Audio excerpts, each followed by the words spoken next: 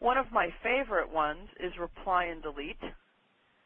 So let's say this email from Priceline is really an email from one of my coworkers wanting to know where I want to go to lunch.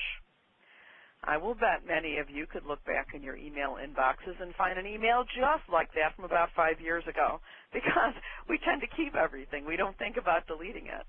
So if it's un, if it's not a critical email to keep in the first place, you can simply hit reply and delete. And reply and delete will delete that original email and allow you to send a reply to it. And it's thinking about that right now.